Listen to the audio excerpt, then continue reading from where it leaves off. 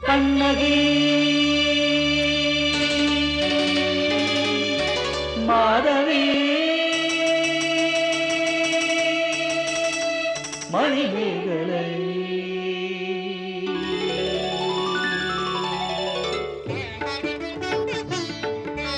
பெண் என்பவளே ஆலயம் அன்பினிலே அவள் கோ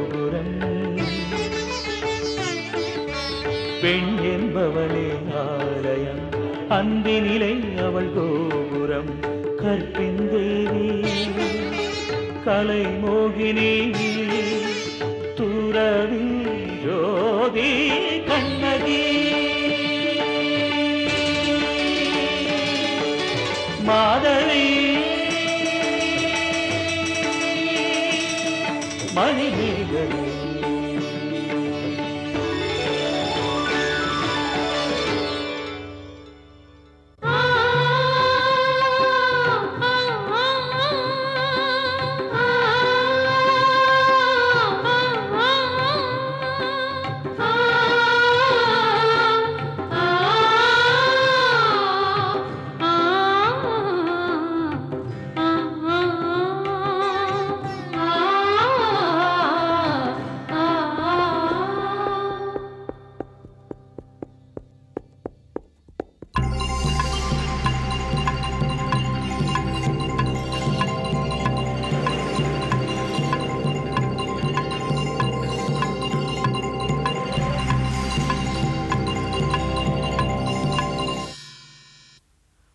மணிமேகலை. மணிமேகலை? நான் காயசண்டிகை எனது கருத்தை மாற்றுவதற்காக நீ இந்த மாய உருவம் தரித்தாய். நானும் அதை உண்மை என நம்பி ஏமாந்தேன். உன்னை நான் இன்றே அரண்மனைக்கு தூக்கி செல்வேன். அற்ப காமம் அழிவை தரும். அடியாளை மறப்பது நல்லது உமக்கு.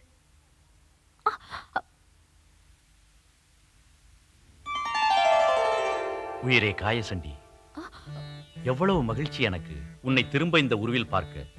நீ இங்கே இருப்பது தெரியாமல் நான் ஒரு மூடன். எங்கெல்லாம் உன்னை தேடி திரிந்தேன்? தூரத்தில் நிற்கிறாயே அன்பே. அருகில் வா நாம் மீண்டும் சந்திப்பதற்கு நற்காலம் வந்தது. புறப்படு கந்தர்வ உலகத்திற்கு போவோம்.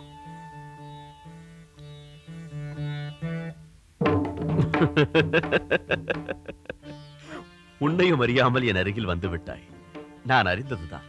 என் மேல் அபார காதல் உனக்குண்டு ஏன் இன்னும் மறைக்கிறாய்? நான் ராஜகுமாரன். என் காதல் நிலைக்குமா என பரீட்சை செய்து பார்க்கிறாய். அந்த விளையாட்டுகள் போதும். இனி எனக்கு சொந்தமாகிவிடு இப்போது புரிந்தது. இந்த ராஜகுமாரனிடம் இவள் மனமோகம் கொண்டது. அதனால்தான் சாப விமோச்சனம் பெற்ற பிறகும் இங்கே வாழ்ந்து வருகிறாள். அதை மறைத்து என்னை அறியாத மாதிரி நாடகம் ஆடுகிறாள் சம்மதம் என்று சொல். இந்த பரந்த சோழ சாம்ராஜ்யத்தை உன்னுடைய சுந்தர பாதங்களில் இன்றே சமர்ப்பணம் செய்கிறேன். உன்னை எனது பத்தினியாக்கிக் கொள்கிறேன். அரசே உமது காதல் சரீர அளவிலே நிற்கிறது. சரீர சுபாவத்தை இளைஞர்கள் நன்கு அறிய வேண்டும். அரசே அசைந்தாடி அருகில் வரும் இக்கிழவியை பாருங்கள். இவர் சரீரம் முன்பு என்னைப் போல இளமையும் அழகும் கொண்டு விளங்கியது. இன்று அந்த கருத்து அடர்ந்த கேசங்கள் வெளுத்து உதறுகின்றன. இரு கண் ஒளியும் மங்கிப் போய்விட்டது. இடை கூன் கொண்டது. காது சப்தங்களை கிரகிக்கும் சக்தி இழந்து விட்டது. முத்துப்பற்கள் விழுந்து வாய் பொக்கையானது. புஷ்பம் தோற்கும் முகம் சுண்டி சுருங்கியது. சருமம் திரைய எய்தியது திரண்ட மார்பகம் வற்றி மறைந்தது. கால்கள் குச்சிகள் சரீரம் எலும்புக்கூடு. தாம் இந்த விரைய சரீரத்தை காமுறுவதும் ஆண்மை கழகா? இதில் பொருளுண்டா தனது கண்ணை மட்டுமே பயன்படுத்துபவன் அறிவற்றவன். புத்தியை பயன்படுத்துபவனே விவேகி. அதனால் இந்த மோகம் தவறுங்கள். அறிவு பெற்று இறைவன் திருவடியை சிந்தியுங்கள்.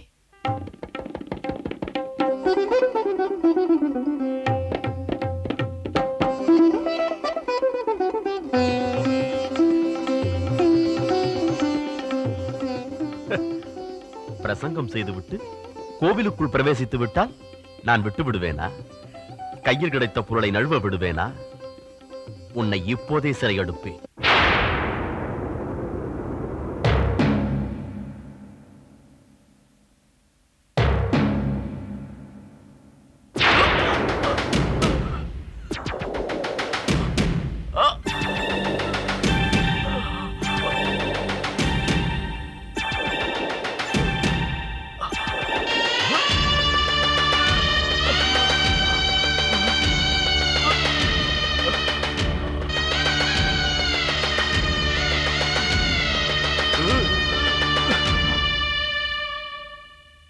தான் மனைவியை அடைய எண்ணுபவன் கதியெல்லாம் இவ்வாறுதான் முடியும்.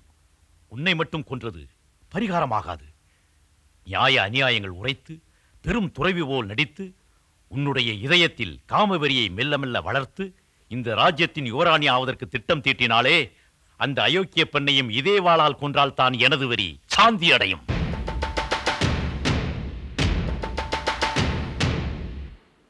கந்தர்வனே காஞ்சனா நில். அவள் உன்னுடைய பத்தினி காய்ச்சண்டிகை அல்ல.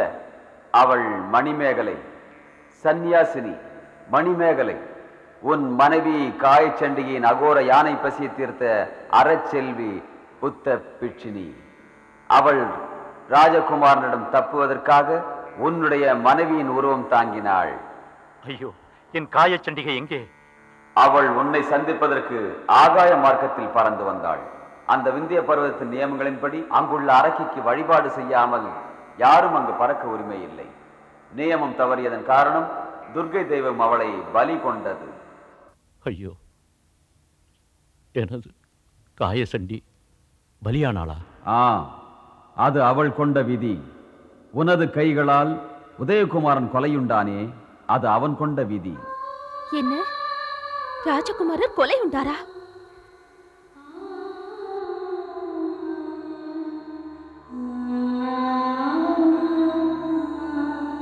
காஞ்சன் என்னதான் உதயகுமாரன் அவனது கர்ம பலனால் இறந்தாலும் அவனை கொன்ற குற்றம் உன்னை விட்டு நீங்காது. உனக்கு அதற்குரிய தண்டனை கிடைத்தே தீரும்.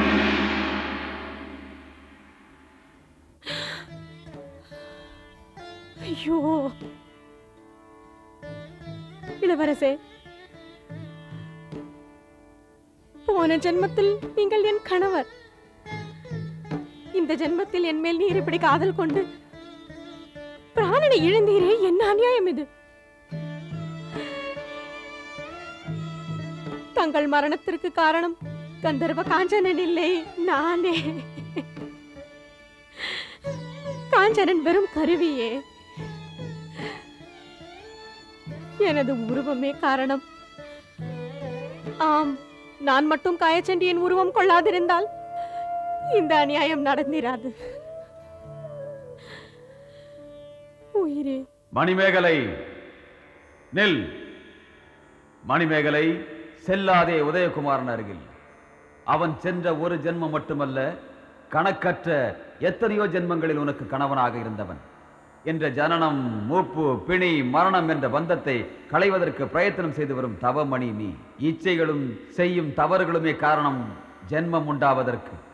செத்தவர் பின்னர் பிறப்பதன் காரணமும் இதுவே. நீ இப்போது உள்ளத்தை பறிகொடுத்தால் திரும்பவும் ஜனன மரணம் எனும் சக்கரத்தில் சிக்கிக் கொள்ளுவாய் துன்பங்கள் மரணங்கள் வாழ்க்கையின் இந்த இயல்பு ஒரு முடிவில்லாதது.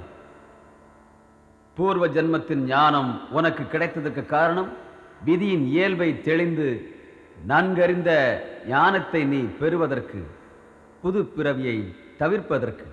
இந்த ஜென்மத்திலும் சென்ற ஜென்ம உறவுகளை வளர்ப்பதற்கல்ல ஆசைகளின் விகற்பங்களை உதறியேறி உரிய சமயத்தில் தாங்கள் என்னை காத்தீர்கள். நான் இனி சஞ்சலத்திற்கு ஆட்படேன். இனி எனக்கு உள்ளது மனிதர்கள் தொண்டு ஒன்றுதான்.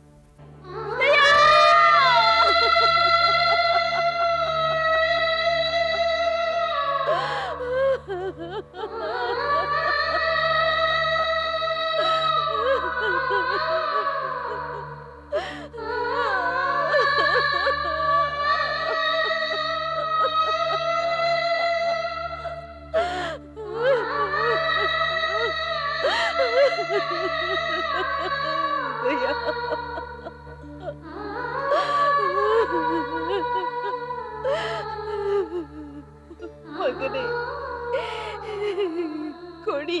பாவியடா இந்த தாய். இந்த பயங்கர காட்சியை காண்பதற்கா நான் இன்னும் உயிரோடு இருக்கிறேன். ஐயோ.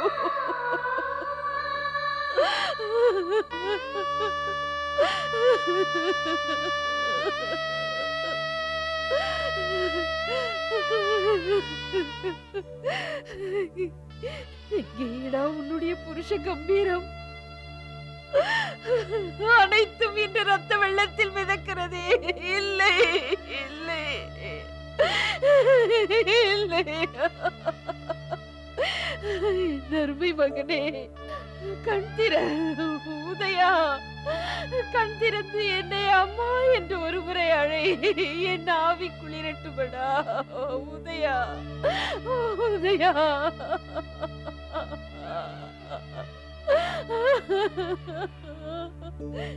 எழுந்திரு மகனே எழுந்திரு என்னை ஒரு முறை பார் மகனே.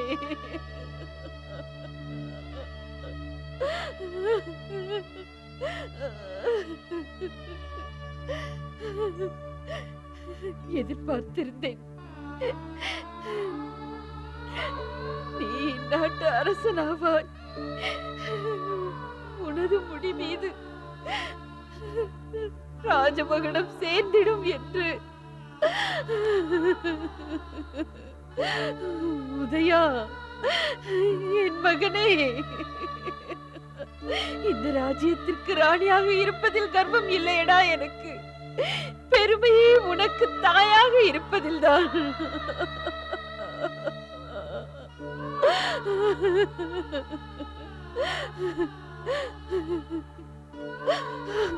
உலக மக்கள் பெண்களுக்கு அவர்கள் கொண்ட பதியை சர்வமும் என்கிறார்கள். ஆனால் உண்மை அது அல்ல. பெண்களுக்கு அவர்கள் மக்களை சகலமும் சர்வமும் உதயா ஒரு முறை கண்டை திற உதயா உதயா நான் உயிர் வாழ மாட்டேன். இனி நான் உயிர் வாழ மாட்டேன் உதயா. உதயா. உதயா. என் மகனே உதயா.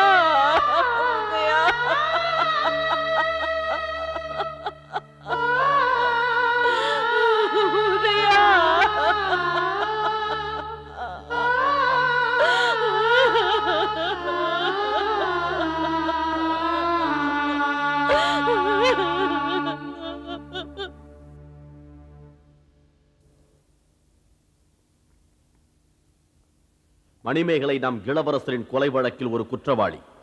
சாட்சி விசாரணை இப்போது துவங்க இருக்கிறது.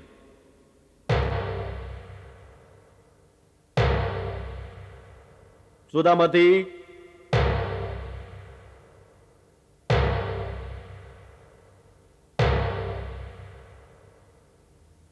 அரசே மாண்ட இளவரசர் மணிமேகலையை காமுற்றார். நான் அதற்கு சாட்சி. ஒரு நாள் உபவனத்தில் பூக்கள் கொய்த சமயம் இளவரசர் அவளை தேடி வந்தார். அங்கே நான் மணிமேகலையை அவரிடமிருந்து தப்புவிப்பதற்காக வனத்தில் உள்ள பளிங்கு அறைக்குள் அடைத்து வைத்தேன். அன்று இளவரசர் ஒரு சபதம் செய்தார். அவளை எந்த விதத்திலாவது தான் அடைந்தே தீருவேன் என்று.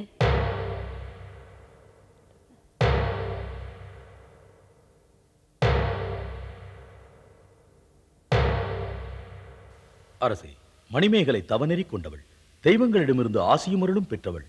பசித்தவர்களின் பசியை தீர்ப்பதற்கு எப்படி தெய்வம் அட்சய பாத்திரத்தை அவளுக்கு தந்ததோ அதே பிரகாரம் விரும்பும்போது உருமாறுகிற சக்தியும் அவளுக்கு தந்திருந்தது. இளவரசரிடமிருந்து தப்புவதற்கும் அன்னதான தொண்டு தொடர்வதற்கும் மணிமேகலை காயசண்டிகை உருவம் தாங்கி வந்தாள். இந்த உண்மை அனைத்து பிட்சுகளுக்கும் தெரியும்.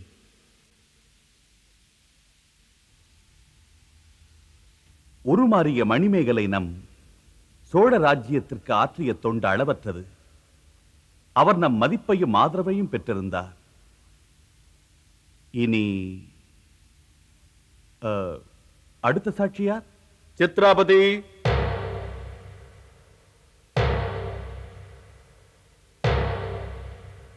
மகாராஜா இளவரசர் மரணம் அடைவதற்கு சற்று முன்புதான் ஒரு உண்மை அறிந்தார். அதாவது காயச்சண்டிகைதான் மணிமேகலை என்று. அவர் என்னிடம் சொல்லிச் சென்றார் அவளை சிறைப்படுத்தி எடுத்து வருவதாக. ஆனால் அவர் மீளவில்லை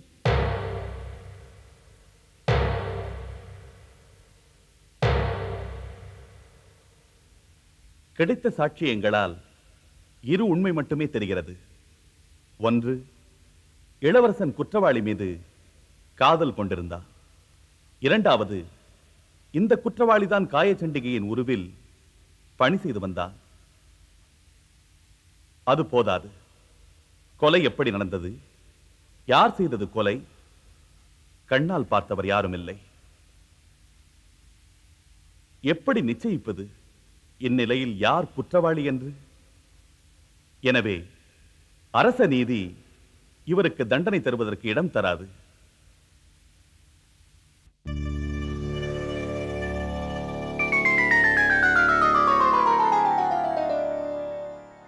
நான் தெய்வ கணங்களில் ஒருவன். தெய்வ சிற்பி சம்பாவதி கோவிலில் என்னை பதுமையாக படைத்தான். நான் அதில் வசித்து வருகிறேன். உரிய சமயத்தில் சத்தியத்தை உலகுக்கு சொல்வது எனது தர்மம்.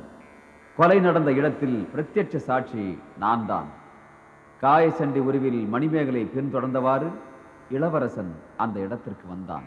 அங்கே காயசண்டியின் கணவன் கந்தர்வ காஞ்சனும் வந்து சேர்ந்தான். இளவரசன் நாலு விதமான காதல் மொழிகள் பேசி மணிமேகலை அடைவதற்கு முயற்சி செய்யலானான் ஆனால் அறச்செல்வி மணிமேகலை தன்மேல் அவன் கொண்ட பேரன்பை இறைவனிடம் செலுத்தும்படி உபதேசம் செய்துவிட்டு கோவிலுக்குள் போய்விட்டாள்.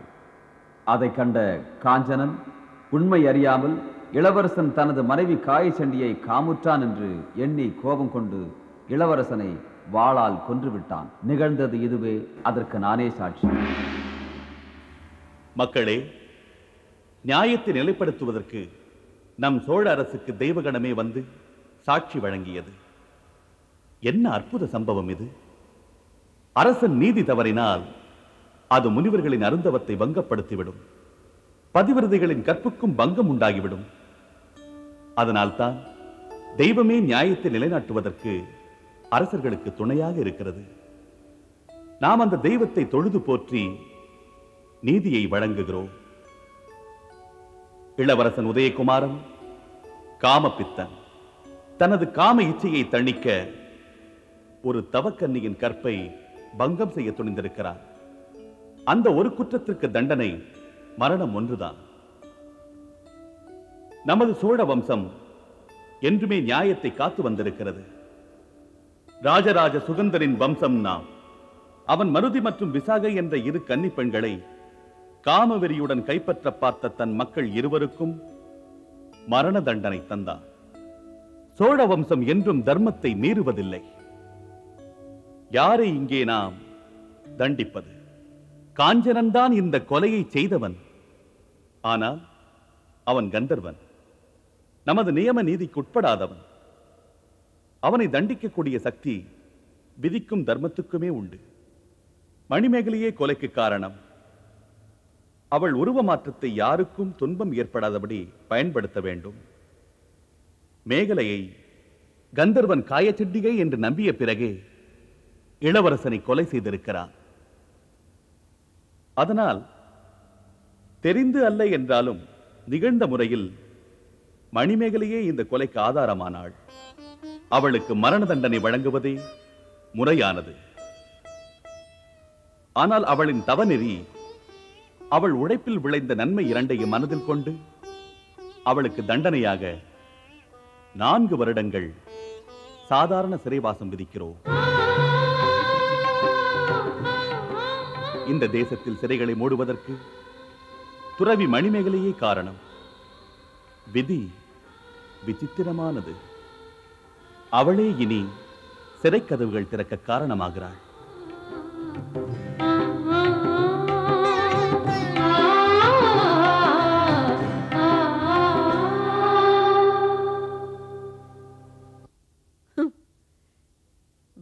நான்கு வருஷங்கள் சாதாரண சிறைவாசம். எனது மகனை கொன்ற பாவிக்கு சாதாரண சிறை தண்டனை. அதுவும் அதுவும் கொலை செய்த குற்றத்திற்காக அல்ல. அவள் காயச்சண்டியின் உருவம் தரித்ததற்காக. அற்புதம் அற்புதம்! இந்த தேசத்தின் அரச நீதி. இந்த சோழராஜ வாரிசு அழிந்ததே நியாயத்தின் பெயரில் தான் பெற்ற மக்களையே கொன்று புகழை வளர்க்கவும். நீண்ட நாள் சிம்மாசனத்தில் இருக்கும் அவர்கள் வழி வழி கையாளுகிற ஒரு குயுக்தி இது. ஆனால் நான் தாய். உதயகுமாரனை பத்து மாதங்கள் என் கருவில் சுமந்து எனது அங்கம் நொந்து சகித்து பெற்றெடுத்தவள்.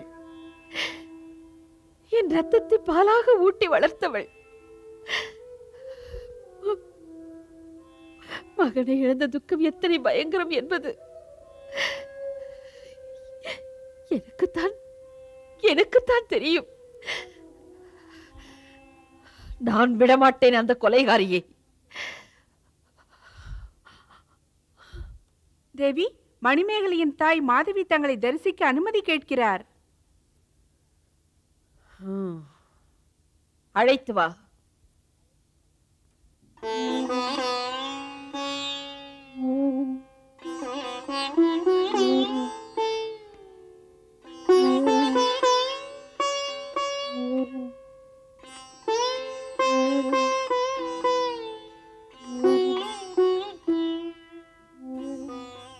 வணங்குகிறேன் தேவி. ஓ நீதான் அந்த கணிகையா? சிறந்த வணிகன் கோவலனை மதுரைக்கு அனுப்பி உயிரை பறித்தவள். கண்ணகி மாதவி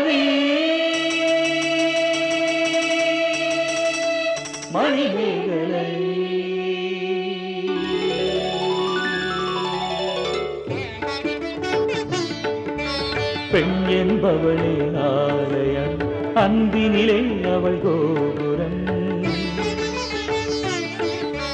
பெண் என்பவளே ஆலயம் அன்பினிலே அவள் கோபுரம். கற்பின் தேவி கலை மோகினேவி